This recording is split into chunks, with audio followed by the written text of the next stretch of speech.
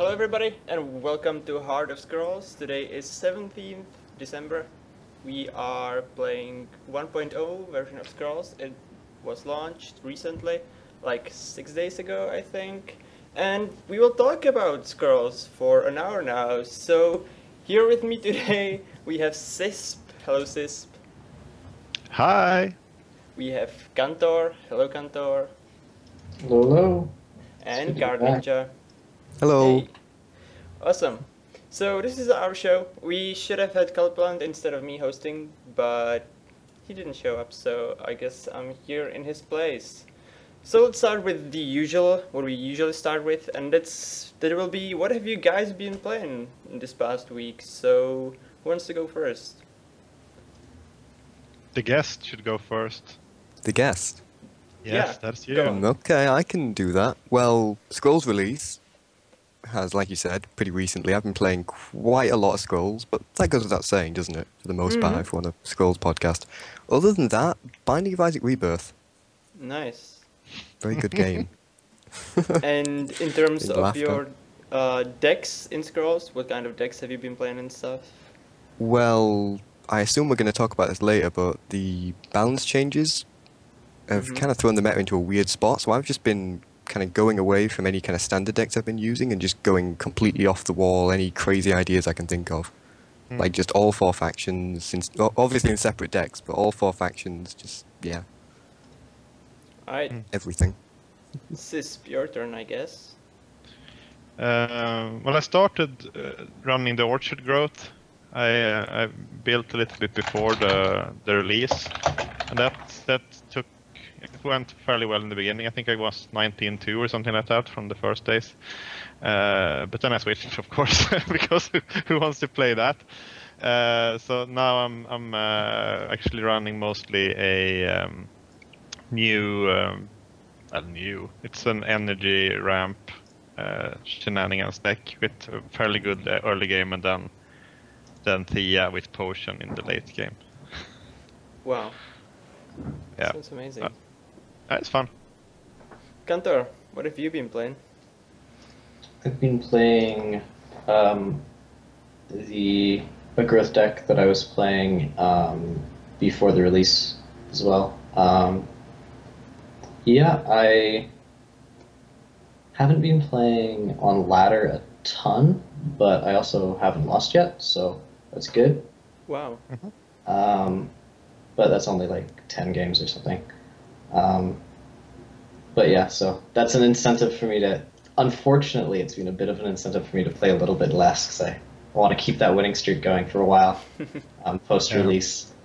Um, I've been playing a bunch of Judgment in between. I started. I picked up one of my old order decks. I want to make like a mid range order. Um, I've been testing that a little bit on testing grounds, but I'm finding it difficult to find testing grounds matches. It's a lot easier to find ranked ones, at least um, for players with higher ranking. Yeah, exactly. Um, how have you been enjoying Judgment? Post post launch, post launch. Uh, it's it's still very good. It still takes a bit of a while to find a match. It's a bit quicker, I think, post launch to find a match than it used to be, but you don't get a lot of like very good matches when you do get like they, you get matches more frequently, but the quality is a bit lower Yeah. Hmm. because there's so many new players. But um, it's pretty pretty smooth sailing for for veterans that way. But uh, Yeah. makes you feel a little bit bad. Do you feel the um, do you feel the quality of the matches improves as you go on? Is it like harder to win when you are at three or four wins, or is it still super easy? Um, it's a bit yeah, it gets a bit trickier. Like you, yeah, I'll hit like like I'll hit like one hard match in like a run. Like I'll, I hit like Petios in Mhm. Judgment the other day. Mm. Um, so like you'll get the one uh, at like three or four wins. Yeah. Yeah. It's been my experience too. It's usually like one or two hard matches. I think I, I did two of them, and the first one was a 5 and the other one was a 5 1, I think, or something like that. And the, the But it seems like it's been shifted a little bit with um, uh, how uh, the wild change affected it. It's it's back to if you can if you can draft those uh, mono decks, they are very strong. And I think the first one, the 5-0, was like double veteran quake, double great wolf territory or something. so it was a kind of a nasty deck. But but uh, then then uh, it seems like the you could, could have more um, uh, deck variety with uh, with the old wild, uh, and that's um, a bit unfortunate. It feels like it's a uh, innocent bystander to the wild nerf, Yeah. which is which is a bit sad. I feel absolutely the same way. The old wild was perfect in judgment, with stacking up to double your minimum. Right now, it's just like big two, but it's still fun. I I still find Mhm. judgment incredibly fun, and yeah, I managed to go 0-2 by the way post launch. I, I don't know what I'm doing. I'm, I just went What did, 0-2 with what did you draft? I, I don't know. It was like energy something th- not really working. I d- drafted Su- soda, uh, energy structures that didn't work, and it's just yeah, I, I I'm bad at it. I don't know. I'm getting worse. But in ranked, beast growth, rocking it, it's amazing. I'm still Yeah. loving it. It's uh, I don't know if I can ever get tired of that deck. Calling the flock plays are just so amazing against even trials and stuff. Uh, the daily trials today, I had like 18 attack rats attacking all over the place.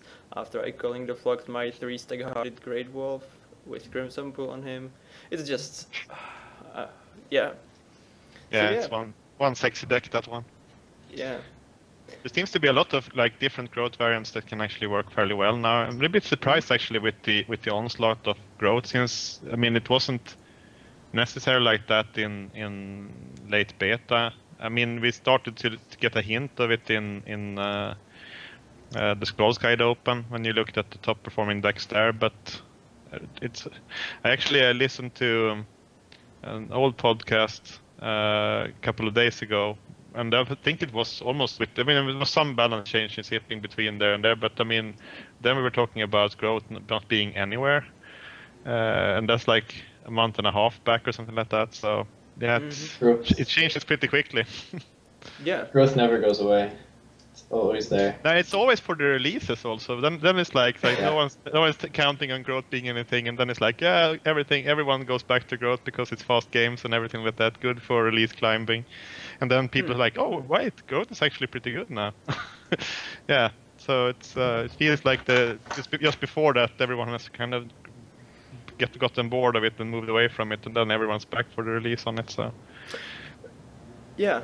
It feels like the meta is still shifting, which I find amazing. I mean, in Scrolls Guide Open, we had uh, just energy, energy, top places where all energy growth got knocked out. Decay didn't even reach top 60, top, top whatever it was. It, it was just pretty, it looked like the meta was figured out. And a week later in ESL Christmas Cup, is just, hey, here's Decay deck, here's Order, everything's been played. It's just pretty nice, I think, and makes you think if we sometimes aren't shouting for buffs and nerfs too soon. So, Yeah, Decay got shifted around a lot. I mean, if you look at the Decay decks before they started uh, messing with the the curse and the the poison balance changes, I mean, you look at what's been playing now. It's it's quite different Decay decks. I mean, now a lot of them are circ- uh, centered around Conduit, which got that slight buff, and now now everyone's playing it. So it's uh, it's amazing how much a faction can be swapped around like that. I mean, Curse Decay doesn't look too great at the moment, for instance. So yeah, I, s- I started saying this around when Rebellion released, and I'm feeling it now more than ever, is that there's just so many good cards that it's really Yeah. hard to, like, there's so many options when you're building your deck. Mhm. Um, I noticed that the most in growth, like you guys had mentioned, like there's a lot of growth variants, even though like the general game plan tends to be very similar.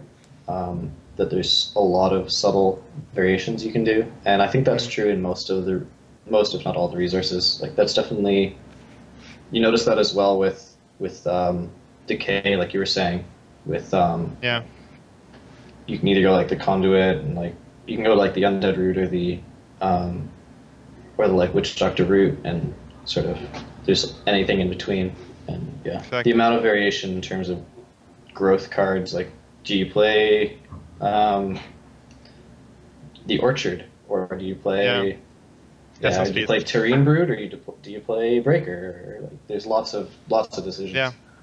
Hmm Absolutely. No, I think it's it's it's actually there's a lot of those like sleeper scrolls. I think that are still like terribly unplayed. I mean, I was surprised how good Orchard was, but uh, I mean, it's it's obviously there is there is downsides to the card. Don't get me wrong. One of the one of the funny fact also one of the losses in the 19 to climb I did was to, to counter playing growth, so, which countered my Orchard fairly well. I mean, the other the other growth games were, were fairly good for me. But that one, when he had Brother of the Wolf and all of that, uh, it it kind of he started messing with my orchard a little bit too much for me to handle. Well, I was sad that Orchard ran out. yeah, I can imagine. I wasn't, that, that was my orchard.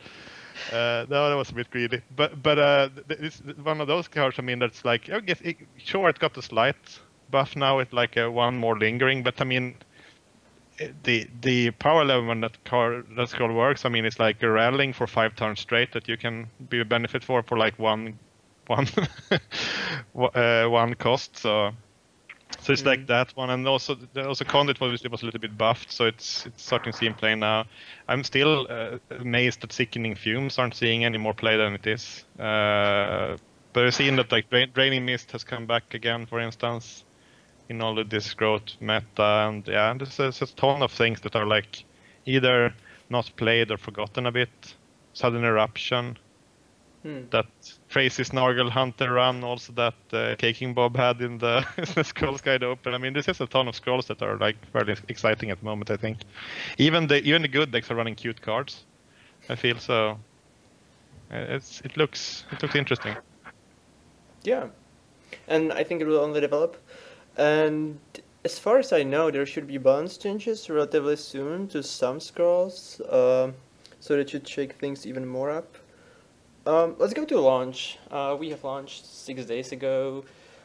It's, I guess most people would say, a little bit underwhelming with the numbers, but we still got some pretty decent numbers. Um, what's your guys' feeling like?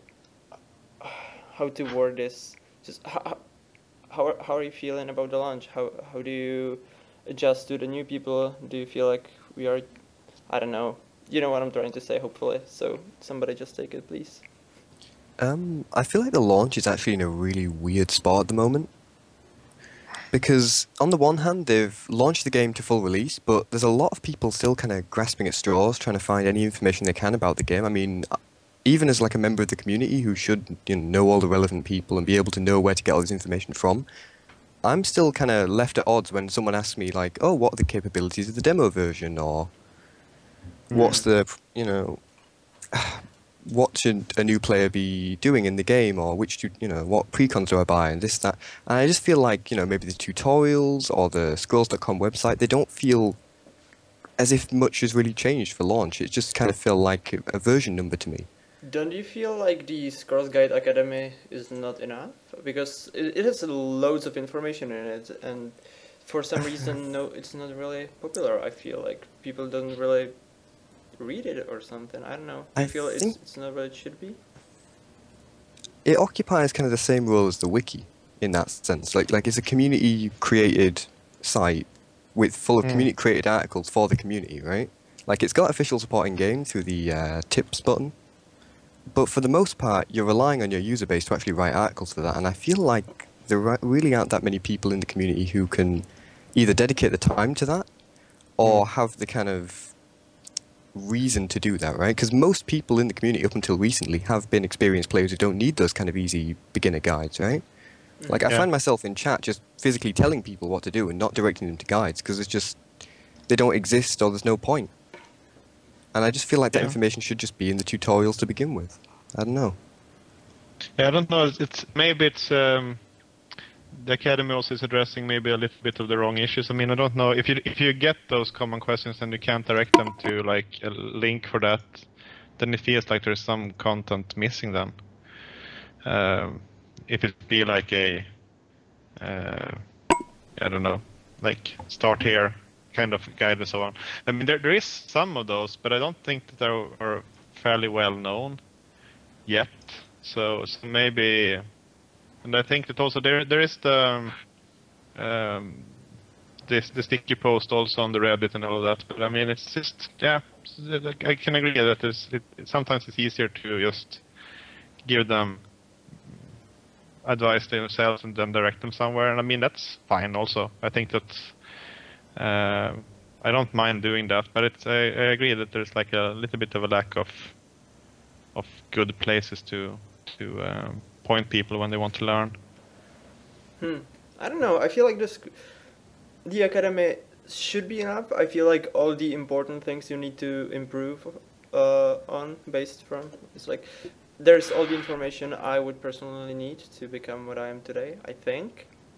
Mm. But I get that it should maybe be in the tutorials, yeah. but I don't think the tutorials are that bad. The problem is it's loads of text and people tend to skip text and then you end up with people losing to easy AI and just not knowing the basics really. So I think it's partially, you know, you can blame the new players for not reading the text and, you know, not paying enough attention to the tutorials because Scrolls is a hard game and maybe it wasn't um, set enough uh, by all the promotion things. Scrolls is incredibly hard game to get into. It's it's it's not something you can just drop to and start playing and know what to do. You have to go through those tutorials. You have to find the information and. Yeah, like you can make the argument that like what you're saying is is right, but I don't think it's correct to like blame the new player, right? Like we want we want them to come, we want them to play, we want them to enjoy it. Um, and the problem is that there's not an entertaining and enjoyable way to like for a lot of these people to get into the game and start to enjoy it, right? So you're you're absolutely right that Scrolls is is a very hard game to get into. Um, so to a certain extent, yeah, you need to to really get the most out of the game. You need to make an effort to go like go and learn, right? Like just figure out what's good, like what mm. what the basics of strategy and etc. are. But um, ideally, that should be something that they like doing. They, that shouldn't be a chore. That shouldn't be a barrier to entry, as much as it's possible to make it not be right? Yeah, I like think that, process that's, uh, that's a good point. I think that it's it's uh, uh, may, maybe it's still like the it's a little bit less hand holding than than one would expect. Also, I think that with the um, I don't know, maybe it's just my take on it, but I think with the price up a bit, it kind of it goes into a kind of a different territory also when it's supposed to be like a mass game and therefore should be more accessible maybe than it is.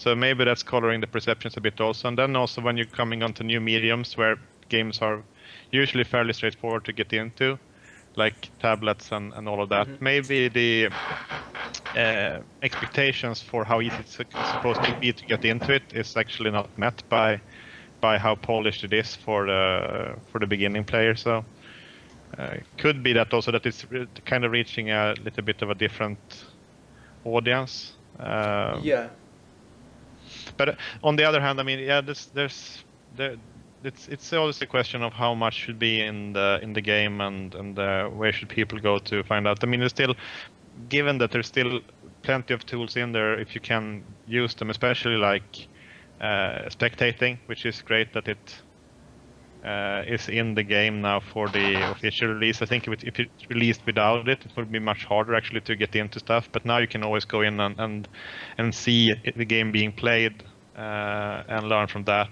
And hopefully we can continue the um, good quality of streaming that we got from from for instance the Scrolls Guide Open, which had fairly uh, good contents both in game and between games, like for explaining on how the games actually work. I think that that uh, that level of uh, coverage would also go a long way to get into the game, for instance, again. So, hmm. so hopefully we can see more of that uh, going forward.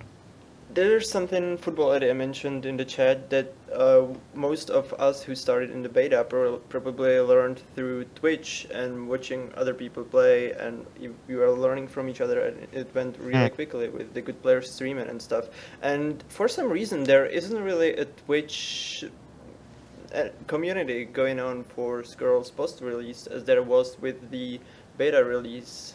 Like when beta released, the community I I I personally went into first, and through which I reached everything else was the Twitch community, and I feel like that was the best place.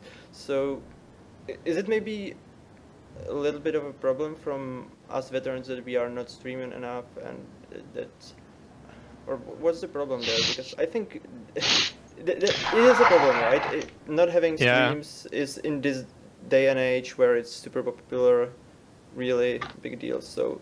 Yeah, I know what my problem is. Poor bandwidth. Yeah, yeah. but Uh, but uh, it it's uh, I, I I think it's it's uh, you're you're uh, onto something there that it, there there could be um, more streamers at the moment. But I think it's also like it's yeah, it's it's a time commitment. Obviously, I, guess- mean it's we can, we can see how how hard it is to get just this this stream uh, organized from time to time, for instance. So. Um, yeah.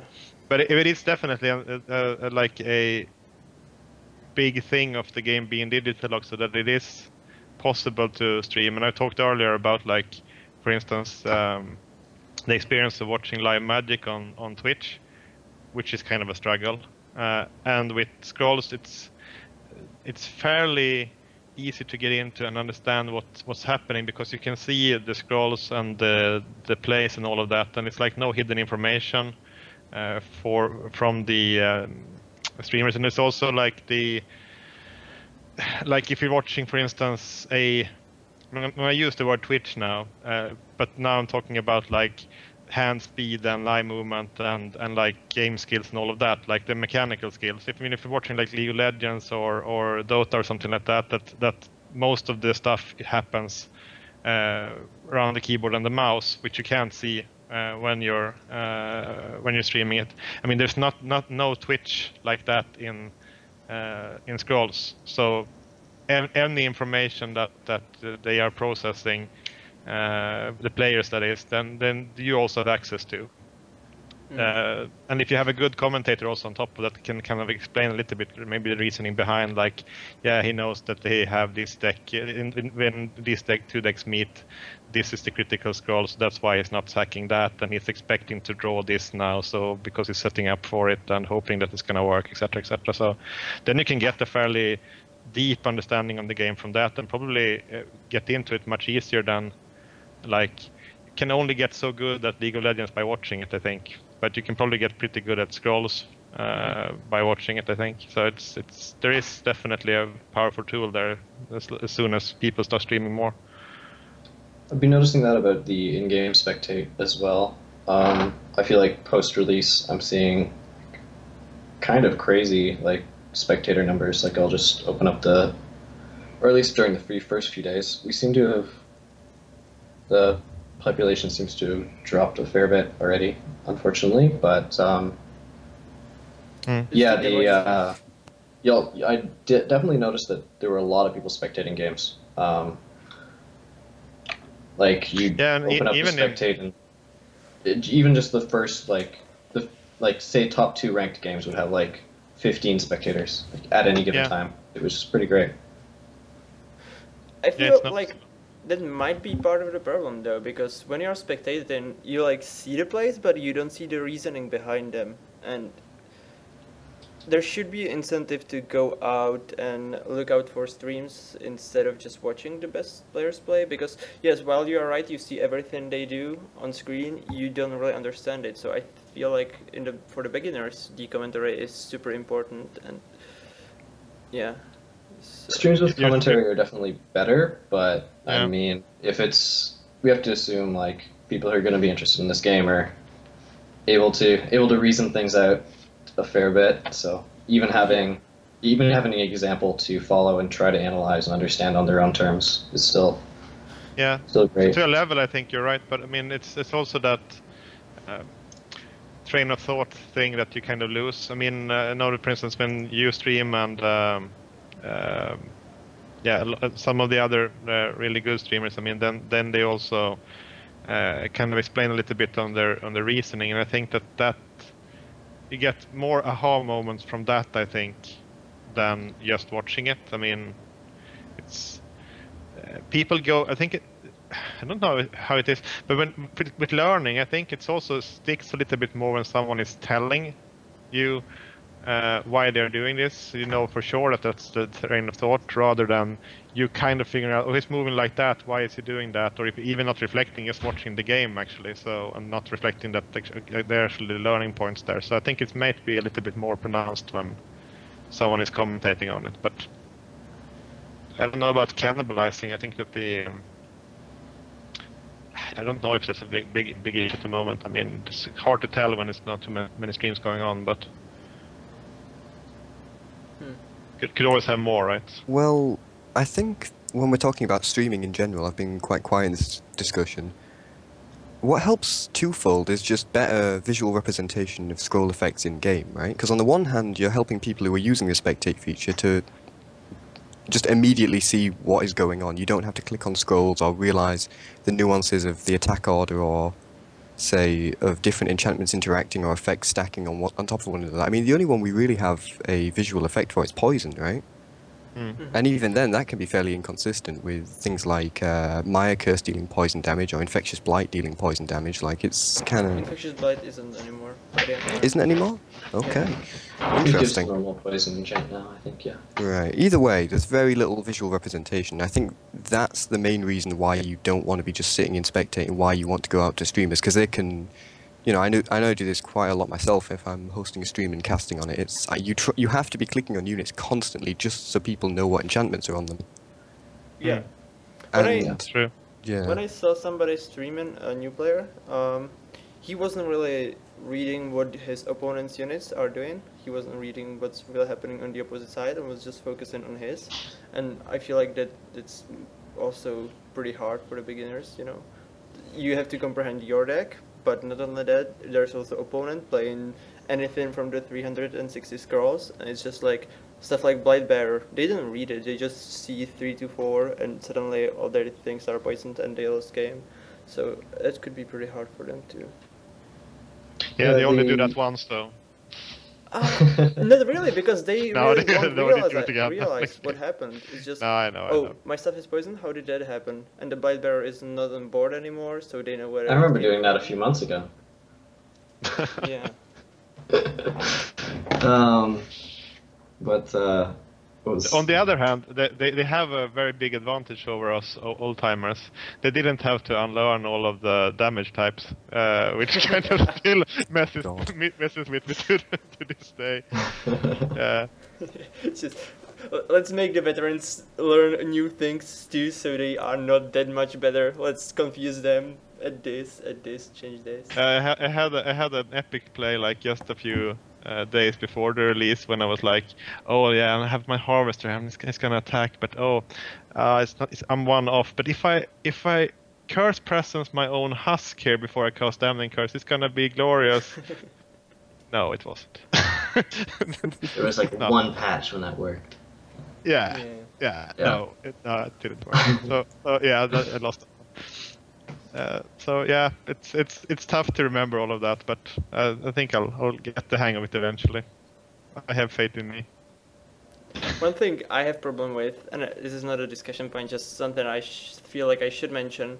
I personally, when I watch like new player stream or whatever, I go to chat and I immediately start loading information line by line by line, just trying to help him improve and trying to get him at a good level. And then I look at the chat that what I wrote, and it's like 10, 12, 15 lines of super hard information to Yeah. process. So yes, sir. Yeah. Well, good luck. Yeah. I try to Well- like control myself sometimes, right? When it's watching someone streaming who's new to the game and like, here, learn all of this stuff, but you don't want to be like condescending either, right? So It's hard though. You want them to improve, and you feel like you should be able to give them information on which they ca- can improve. Yeah. But there's just so many things at once they sh- need to know It's just what, what do you start with? Like, how do you explain why he lost that game? Why do you, how do you explain without explaining ten other things why he is just not playing well? I think it reminds me quite a bit of the Scrolls Guide Open casting actually, because you could see a lot of people there knew they were casting completely to new players, right? For the most part. Yeah. And so a lot of people who were trying to tailor their casting more to that. And I think it came to a point in the middle of games where you've got two experienced players who can track all the things that are going on the board, but you can't talk about them fast enough. By the time they've made a play, enchanted a unit, casted countdown reduction, played, you know, some huge combo plays in, you know, mid-game, late-game scenarios, you can't describe that to a new player and still make any sense, right? When you're still like sat there trying to explain what pillage does and what pumping a forge means and all these kind of things, you can't keep up with it. And I think it really does highlight just the level of information that you need to get through to people just to start be, even be able to watch kind of high level games. hmm Yeah, I mean, most decks are actually also fairly complicated in, in how they work. I mean, they have there, there's a lot of interactions going on. You're also interacting in a funny way with the the opponent's board, and I mean, also if you just look at the like if you count complexity as the number of possible different action a player can take. Uh, I've said it before, I think, but it's it's a fairly high complex game. So as soon as you get like one unit out, you now have at least seven options with with that unit alone. If you have it in the center there, you can have it stand still, or you can move it around. And then you, if you put two units, I mean the combinations are starting to stack up. And then you also count on what different scrolls you can play, and you get like tons of different scenarios. Whereas compared to, for instance, like some uh, Magic the Gathering games, uh, the plays are fairly straightforward.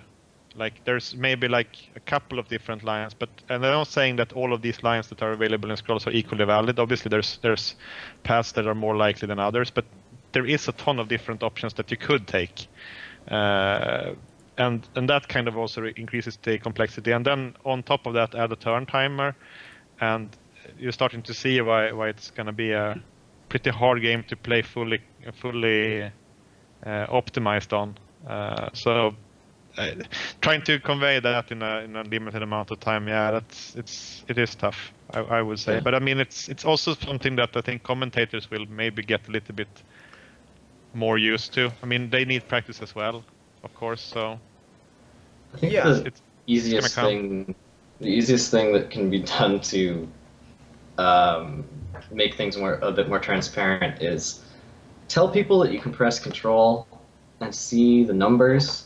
It's by default now, by the Oh, way. it's so Is it? terrible. Yeah. Is it? I really The hope amount that's of true. the amount of streams I've got into and said, "Can you please press control?" and then just the size of relief when they realise that's what they've accidentally hit to turn it off. Yeah, Oh, they do that. No. Why? But- just well, make I like- they option, realize they hit something and that it disappears. When I so- first started playing, I didn't even know that that was anything until like I had until I saw like a Blinky video, I Mhm. think, and it just was not there. I had no idea. Um, I think I started playing after TotalBiscuit released his video, and then Yeah. it was quite a while until I found like a Blinky video that uh, mentioned that. Um, and yeah, that would that would That's help. tough.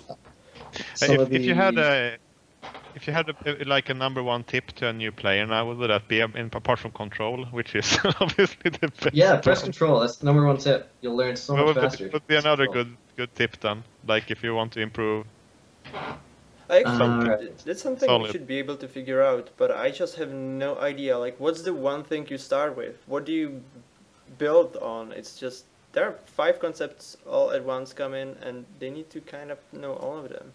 Um, worry. Ab- try to kill the unit that's going to attack you next. Yeah. Is that? Uh, no, that's kind of advanced, people. I surely. guess, Ah, I think but that's a that's a good one. it, I'm, The general that's, as, one that's is- as succinct as I can make strategy. I think the succinct, most succinct point is take the center lane and go for creatures Yeah. over idols. They're the big mistakes people make. Yeah, that's a I mean, one. whether or not you kill their creatures as, as they're about to attack or not, you just kill their creatures, you know, outright, let alone. Yeah. I anything think else. uh, also uh, Tin Fox, the uh, founder of the uh, the Badger Guild, actually had a, a uh, pretty good tip on on when to sack for scrolls or resources, which was that if you can't play your um, if you can't play out, play out your hand, then then uh, sack for resources. Otherwise, sack for scrolls, and it it's kind of simplified, but it's actually very close to how my playstyle is. I think I play Yeah. with a very, very low hand count all the time, just because that I want high throughput. Like I want to play multiple things every turn. So I, I, I usually are, are hovering around like one to maybe two scrolls in hand most of the time. And then every time I see someone, I'm facing someone and they have like five resources and seven scrolls in hand, I'm like, what are you digging for? what do you have in your hand? I mean, that you can't. If you if you could play three things out of your hand, how can that possibly be better than what you're digging Well, for? So I think honest- that's a good tip also to not be afraid to stack for resources, even like later in the game. Well, for beginners, hmm. I noticed they, they usually stack for resources too much and they just go into top deck every single turn and they want to play the thing they draw and then they not sacrifice and just keep playing whatever comes to their hand and I noticed that a lot more too, Ice Cream. I definitely Yeah. agree with you there. I think a lot Aha, of people, okay. new players, sack for resources way too often. They'll be at like six and they'll play a four drop and they'll sack for resources and have three three floating. I'm like, why? Like, what is this for? But Uh, Yeah, it wouldn't be a problem if they just had floating resources because they are still building up their economy. But when they sacrifice their last thing in hand for resources when they don't need to, and then go into top deck, it's just completely wrecks everything they should be doing. I still think that like top decking when you're on when you're on seven is much better than than like sacking for like your fifth or sixth scroll when you're on four or five. I mean, I think that there's just a possi- bigger possibility that you'll be able to play those two than than. Uh, Yeah, If- but uh, but I mean that's uh, that's just me. But I, I, I definitely enjoy playing it more like that when I'm when I'm very high high up in the resource count. But it it also kind of depends on the deck a bit. But in general, I see that a lot. That I'm like, uh, the it's it's sometimes the answer to a tricky board position is just to play more stuff, not necessarily to play the right stuff, but just like to to play more stuff onto the board and stall it a bit instead of just trying to uh, dig like okay i need my quake now i need my quake now i need my quake now and then you're trying to dig for it and you dig for it and you dig for it and then you lose. Even then after your quake you're like in a fairly miserable state usually because then the, the other player might be at like nine resources or eight resources and you stayed on five. They drop Well, three, the- two more things after the quake and you're like okay now i'm back in the same situation again but my quake costs seven now. Yeah, well, the like you need to find another one yeah that that's like Is Hmm. uh, if I don't know if you ever saw um, the Overlord made a all creature deck. It's a zero spells deck. It had well, I think it had like Imperials as like its only spell. Yeah. But yeah, that's like the reductio ad absurdum for that concept, and it was actually incredibly strong too. yeah i know against a lot of you don't need to actually yeah sometimes just presenting a new threat and like letting your other threats try to count down and just letting them attack naturally is a lot better than like trying to dig for a rallying or something to clean things up Exactly. No, I think that the, the, in general people play with with too, too few creatures. I mean the uh, the orchard deck I climbed with ran uh, 40 creatures plus three rat kings, uh, and obviously it has a lot of synergy with just dropping creatures. But I mean it's it's working well with you when you just like.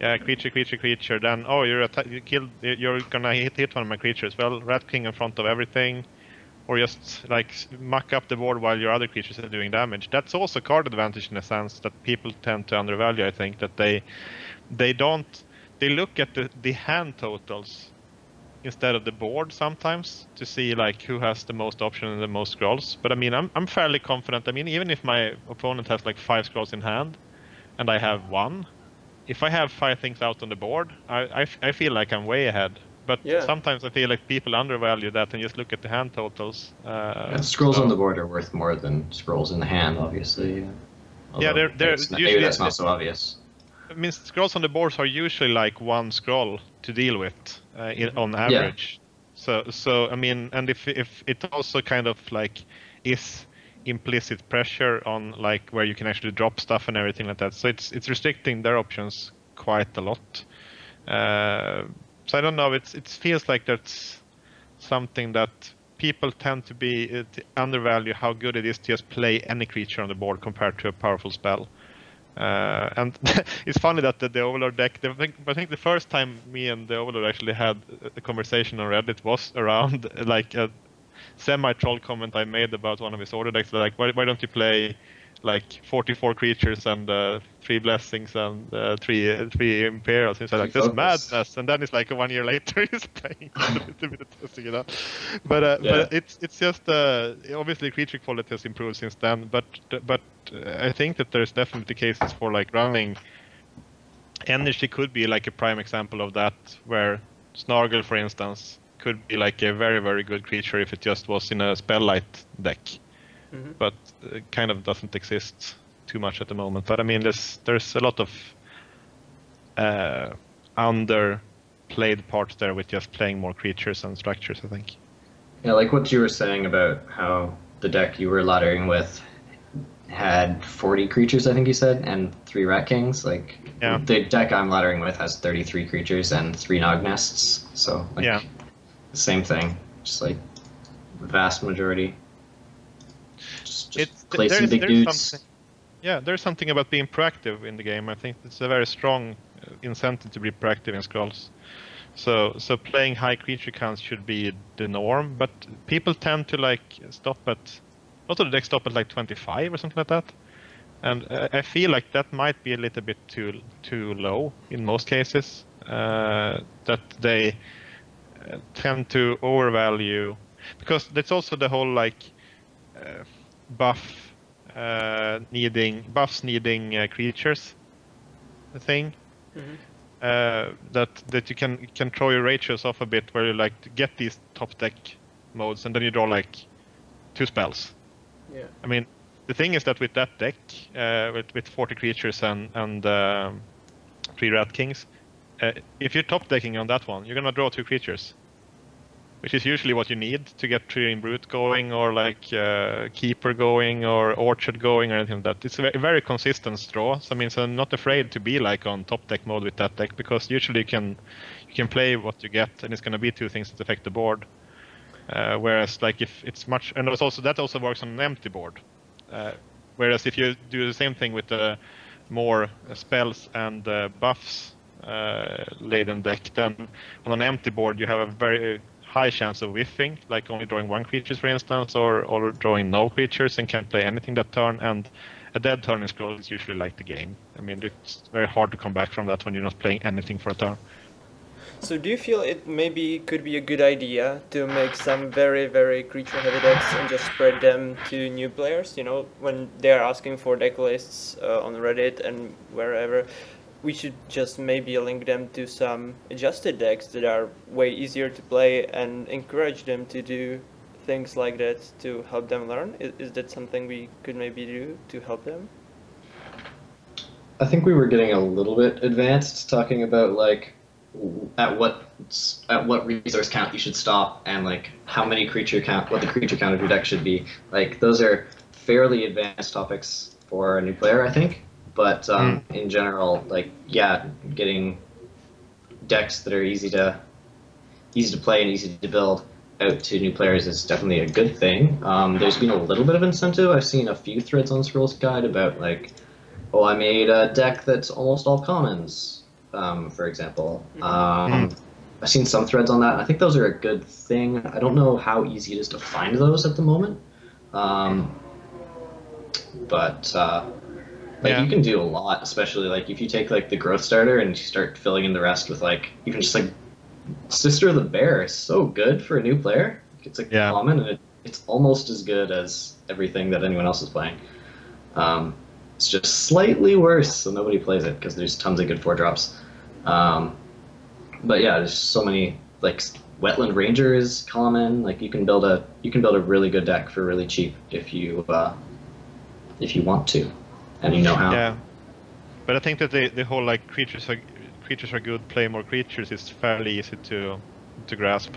I mean, it's it's a very common tip in judgment, but I think that it might it might actually stand a little bit more than that. So I don't remember exactly how the precons are in ratios, but I feel like that probably the biggest thing to improve them is to uh, first take out some of the the spells and enchantments and put in more creatures. Would probably bump the win rates a bit, and then maybe take out a few of the structures and put in more creatures also. Uh, it's probably a very solid advice of just getting the win rates up a bit on that one. Uh, Yeah. Well, Yeah, Because- just the simple advice of just like put some more creatures in your deck. It's definitely good. You're Yeah. all advocating very, very heavy creature decks, but I think it actually, just as a counter argument, some decks don't have to rely just on completely heavy creatures. I think new players can definitely, you know, just be given. So if you give if you give a new player a meta deck, I think they would actually do fairly well with it, right? It's not. They don't Yeah. have to just play the new quote unquote. like Scrolls, like some right? Samata control or something. Okay, so meta control. Do you call that a meta deck? You know, but I mean, It's in not a deck, general, I think a deck becomes easier to play when you give yourself more options. The job of a new Yeah. player is to realize that they have those options, right? Like they might not see some crazy bombard Oculus cannon play in their hand, right? But if they had that available to them, maybe they'd, you know, be able to learn that more quickly, I guess. Before And I then even then, sorry. winning doesn't necessarily equate to having more fun with the game, right? Just as kind of a Mhm. side point. I'll No, just mention that uh, we have new players probably watching. I guess I hope so. If you have any questions, somebody was asking for Q and A. Uh, you can feel yeah like feel free to ask questions in chat. We are, or at least I am reading it. So we will take questions whenever you ask something, and I feel like it's a good thing to talk about. And I'll continue on our topic because the one streamer I kind of like took under my wings, and I'm trying to make him good. Uh, he's really good. He's improving fast, so he's very talented. But what he said at start, he said I want to play the K deck, and he already had almost the start unlocked. So he had 18k gold saved up, and I just decided, you know, let's give him this undead deck that uh, Atmas built. Let him buy it all straight up. He was almost able to. He was missing like six or 7k, so I gave him two conduits, and somebody else gave him Irvas, and he bought few uh, remaining Irvas. And even though he doesn't really understand deck, I feel like he is slowly learning how to play it, and he's starting to see the combinations that are available there, and it's like it's pretty good for him, I think. Like Mm. it's a good deck on its own, kind of. You know, it's just creatures bashing each other. But when you start to see the combos, you begin to improve a lot more. And Decay is super hard to learn, I think. But he's starting to understand how Harvester really works and so on. So Hmm. that that ties to question just asked in chat. What is the friendliest deck to start for new players? So I guess it doesn't really matter. Not something control but if, even if you give him heavy creature deck with all commons, he will probably learn good. If you give him something that has lots of synergy, he will probably start seeing it soon too. Yeah, I think on a on a micro level, uh, I'm just gonna continue on the creature round here, but I think actually structures are a little bit harder to play than creatures innate, just because if you place them wrong, uh, you can have a very hard time repairing that mistake. Like for instance, Yeah. say you're playing a structure in uh, middle of row two, for instance, like. Uh, that thing is gonna influence your your movement around it so much. It's gonna be a little bit like a, I don't know, a tent pole or something like that that you have to dance around. So it's it's restricting you probably more than you you drop That's So experienced players usually learn to not drop structures there. They drop it in the front, or they drop it in like. Uh, I mean, favorite spots for for uh, forges, for instance, are fairly commonly known now to be like middle of top row or bottom row uh, because that's a good way of protecting them and also having enough space for them to spawn, etc., and so on. So it's the, the, but it's much easier with creatures because then because then you're like if you're placing it in the earth too far away from the opponent, you can move them closer again, or if you like, you can you can adjust them if you place them in the wrong order. It can be a little bit awkward to get them to move around, but you can adjust over a game at least. And structures are a little bit harder, so probably something probably something with a little bit more creatures than than structures because they are a little bit easier to to learn the the uh, positioning nuances, which I think is actually fairly important to get into, because a, a lot of the game is actually just creatures bashing into each other and also learning when when to uh, when to move in and when to move away is, is a very critical skill, like around controlling the center row and so on. It's like sometimes it's it's suicide to move in, and sometimes it's the exact right choice. Uh, so I think it's much easier to to get to that point if you have a deck that's uh, starting to see that uh, that interaction when you have a deck that has a lot of creatures and are interested in the positioning. I think so. But that Well, to could be your- any and that could be any faction. I think. to your point there, um, and also earlier you asked like what would be your first advice as I've to a new player. Um, it's very closely related to what you just said, but just came to mind now is move your creatures. Like to a Mm. very very new player, it's like yeah, press control and move your creatures. 'Cause, uh, I was watching yeah, I was watching Color Plant stream, and he was doing um, like a little mini tournament between people with demo accounts to and he was giving away a uh, game key to the winner. And they would just they would just forget that their creatures could move. They'd stand there they'd hit each other. Like sometimes they'd move them. A lot of, but there was like for example there was a there was a sister of the bear that was in the front row and she stayed there the entire game. And she had like two or three opportunities throughout the game that if she'd moved one square, she wasn't binding root or anything, she could have killed an extra unit. Um, and like, obviously that's something that like you could learn very quickly, but if people are overwhelmed by trying to learn what all the cards do and they just forget these things, like just remember to move your creatures. Even if you don't think that you need to, even if you don't really know where to move them, just try moving them somewhere. Try to think about where's the best place to move them. Move them there. Mm. Yeah, that's a great tip. Right. We have some more, uh, not some more, but some actual uh, questions coming to chat. So uh, I feel like they're pretty good. So I'll talk about them. If you guys feel like um, you can give, uh, you can add to my response because I'll try to go through them quick because time is running low. But if you feel like you have something to add, just feel free to interrupt me and uh, stop with the copypasterinos in chat, please. So, do you advise new players to pick a deck idea and buy the cards on the black market to have playable deck, or to buy booster to build a library to have options to test build?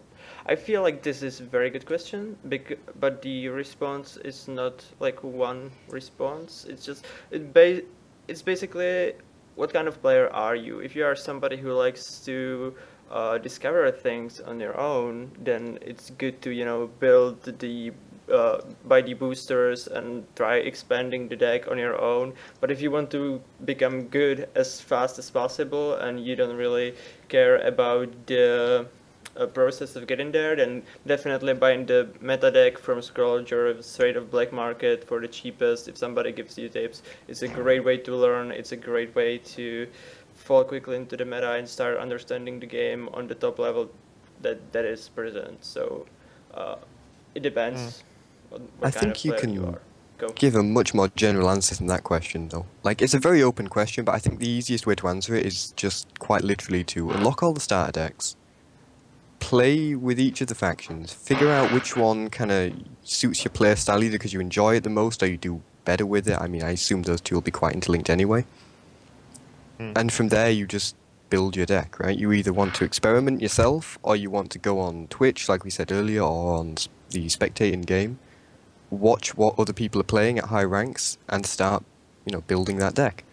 If you're not interested in playing competitively, then you should be fine just, you know, buying whatever you want and building your deck quite naturally that way. Yeah, I think it's a good. I think maybe I don't know if there is such a resource, but it would be interesting to see like maybe a, a list of staples somewhere. I don't know if there. do- do you know if there is like Nope. uh, that kind of list? Yeah, but I think that that might be good. Like to do that if if you want to invest into a faction, for instance. I mean, what should you go for? What is usually uh, gonna be played in your deck, for instance, like for decay, like investing in in harvester seems like a fairly good bet, uh, and uh, maybe damning curses, for instance, is probably not gonna go out of style Somebody can uh, in that. a while. Yeah, it's like or forges or burns or yeah, what Right. what what not. So that that could be interesting to to to have also. But yeah, See if we can try and get through some more questions. Yeah. Mhm. Uh, somebody was asking if we re- we recommend players to use starter decks. I said uh, basically for, or I think basically what Gardening just said. You should totally Mm. play them to figure out which kind of resource you really like and what kind of thing you want to play. Because once you dip all your gold that you gained in the beginning of the ga- of the game into a specific deck, you are uh, most likely to stick with it for a while. So just make sure you will enjoy the resource you picked. So yeah, play them until you are sure what what you want to play for a while. Mm. Another question was was uh, what's the best way to learn all the cards, combos, and so on? Build a deck with all the factions and play them all. I don't think like that's a good way to do it, but I think that through playing on in quick matches you will meet all kinds of decks and just paying attention to what your opponent plays is the best way to to learn. Like you have to have your deck that you kind of know, and then you are able to focus on, on what your opponent is doing and what his cards are, and trying to understand them there. And also, if you buy a pack, you see 10 scrolls, so make sure you know what you just bought and read them all properly, because you have time there. So, anyone wants to add anything to the response? No, I think it's uh, No, I think that was pretty And that well summed up. up. Yeah. Yeah. Right. Then there was a question about weakest card and proposed buffs, but I don't think we really want to go into that right now. I think we a sh- couple. he asked it like he asked it twice. He wants to hear something. We should tell him something. Kantor, rig, are... rig, rigged is fairly bad. It's good! Rigged There's- is bad. There's a lot of bad uh, cards out there. Golem Most skin. of them have been buffed. Golem Oh. skin Golem is skin. awesome. Yeah, there is Golem- no reason to ever play it in any deck. You can I get had a deck that with played it. it once, but that's a story for that I've told lots of times because I love that story. Um, okay. But uh, what else? There's there's lots of bad cards. Um, I was looking at one earlier.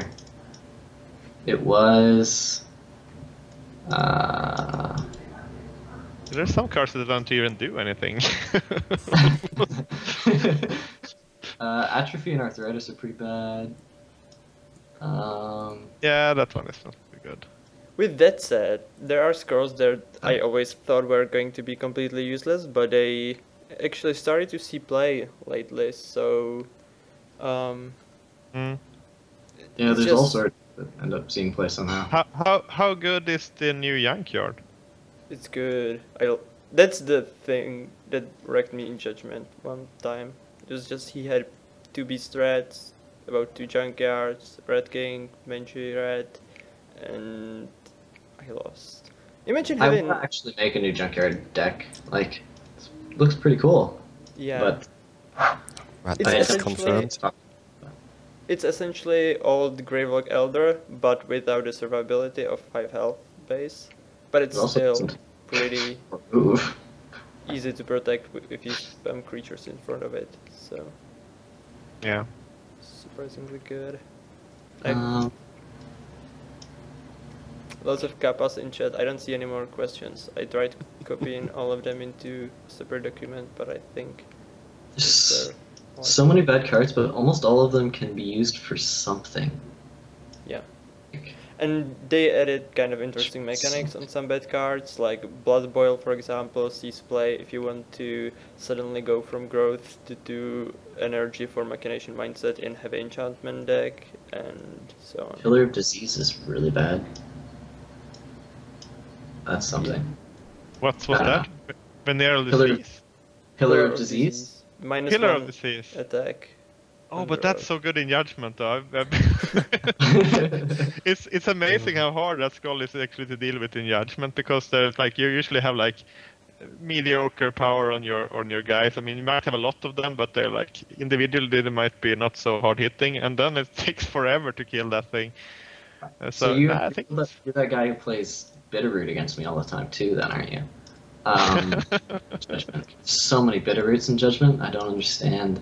Don't understand. Oh, Monstrous Brood. Uh, anyway, Oh, let's yeah, to- yeah, that's uh, that's a tough one. I'm, I'm I'm sad for the monstrosity. I thought it was pretty good before they started mucking with it, and now it's no Monsters. Brood is actually playable in red deck. if you have Red and Watchergeddon and you play Monsters Brood, then you don't have Reds, but you have Monstrosities instead, and you proc Watcher with all of them. And I saw it played. It has a spot in the niche decks, I feel. All right. So we found out there's no bad cards. Cool. Um, No, they are definitely bad cards, but Yeah, they're, they're on the curve. they will be played eventually. Trust they are on the Right. curve. next question. Um, replenish. We should talk about replenish. Yeah, it's good. Antured had a pretty interesting question. Was it about turtles? Uh, no, it was nothing to do. It was about Scrolls release. Can you find the question? I can find the question. Yeah, it was just Why recently do you think. Uh, there why? was relatively little coverage of scrolls after release compared to beta release? Says and Oh, asks yeah. Andy Rad. There is one thing I do not understand, and I could rant about it probably for half half an hour. But apparently, the gaming industry reached a point where all media covers game only in beta, and when it actually releases, they don't bother to cover it because they send out keys to all the reviewers and sites, even smaller YouTube channels focused on strategy. And there's literally no one covering scrolls. There was one critic review in six days. And I'm furious because it just doesn't make sense. How are critics not covering second Mojang game? I don't understand it. Everybody counted on it. Mojang counted on it. On it. So that is why we are not seeing as big growth of players as we potentially could. And it just, I, I don't understand it. Why is no one covering it? When, when you search those sites for scrolls, all you see are like two or three articles on beta. But it's released now. Now is the time you should cover it, not in beta. That's not the time to cover games. And I'm just mad. Yeah, time I think it's still coming. I hope Yeah. so. I sincerely hope so because it's a disaster. You look at Metacritic and it doesn't have rating yet because there's only one review. Pretty good one though.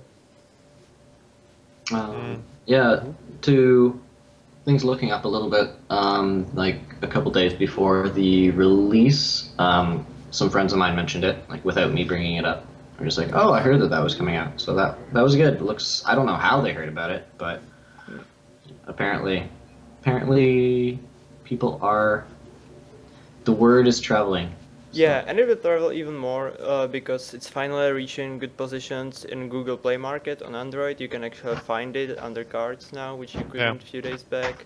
So it should hopefully start growing more and more through that. Is my expectation at least because I know there is a lot of people looking for good card games on tablets. So when they see scrolls, eventually when they discover it, they should like it. And it, it's definitely out there, and it's in the top games even under Mhm. card categories. So that's good. Yeah. Yeah. Anyone wants to talk about anything else? I think we might have a few minutes. I don't know when we exactly started, but it's time for final thoughts. So I'll just go one by one. You are not probably eager to talk about topics, otherwise you would have stopped me. So let's just go one by one, say a few final words, maybe plug whatever the hell you want to plug. I know I will want to. So let's start with Sis and go around the around the table. Sis, go. Well, um, thanks for hanging out, guys. Uh, hopefully, we can uh, deliver Heart of Scrolls a little bit more um, frequently than earlier. It was a little bit of a, an hiatus. It's like a lot of bad things coinciding at once here, and that Mhm. we're we're giving uh, Mojang and reviewers a little bit of flack of not being synchronized here for the launch. I think that there's there's other other things that could have been uh, been uh, working a little bit better than that, but. Uh, uh, thanks for hanging out tonight. It was it was fun and uh, play more creatures. Card Ninja, go. Um, I just want to thank you guys for letting me on as a guest. Just, I was pleasure. kind of surprised. I don't really do much in the community other than cast games. I don't know if I'm okay games, to. though. That Yeah, was what I- we needed. Didn't you pay attention earlier? We wanted more casters.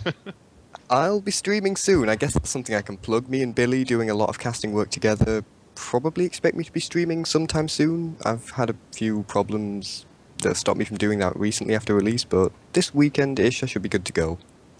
So look out for streams coming from me and So what's Billy your in the Twitch channel future. in case My Twitch follow? channel is twitch.tv slash creeping ninja. I don't know if anyone wants to link that in chat. Yeah, I can do that. Amazing.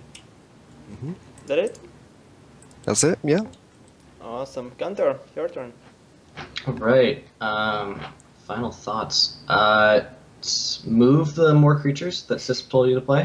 You should move them. And yeah, the more creatures that you play, you should move them. Um, and I normally I would plug my Twitch stream, but I haven't streamed for months. Sorry, everybody. Um, hopefully, I will. I definitely won't be streaming until after the Christmas break. Um, if I do get the stream going again, um, I'd like to though. But uh, it's twitch.tv slash trustyfish if you want to check it out. Um, there's, I'm sure there's still some old, old, old archives there that you could look at if you'd like. Um, yeah, hopefully in the new year I'll get the stream rolling again. Because scroll streams are great. So back to you, Ice Cream. Alright, I will start plugging because I didn't properly plug myself since I started doing Heart of Scrolls, so I feel it's about time to remind everybody that I have Twitter, that's at D-J-E-T-E-L-E-N-A. I'm sorry, my name is weird. Um, and most importantly, I run a website about news in Scrolls, and it's called roastedbeanpotion.com. It's spelled roasted bean potion, same as in the game, the card. And we focus mostly on tournaments. We also do daily trial guides. Every single day, Danatron goes and writes a guide for easy, medium, and hard trial with decks provided for their for that. So um, that's that's a useful thing. And it's getting not as much traffic as I would like to. And I'm I think I'm doing pretty good job at covering ESL and, and stuff. So roastedbeanpotion.com, get it into your RSS readers and probably visit it every now and then. Um, and Heart of Scrolls, you're watching this. If you like this, we are on YouTube. That's youtube.com slash user slash slash Guild. We are also here on Twitch, so follow us please. Um, and we are also on iTunes. You can find it if you just search for Heart of Scrolls. Also, other podcast means it's linked on Reddit. That's the final thing. If you're a new player and you don't visit Reddit, you totally should. It's where most things are happening and everything important is linked every single time. I don't think we miss many things. So, yeah. Wow. That's it.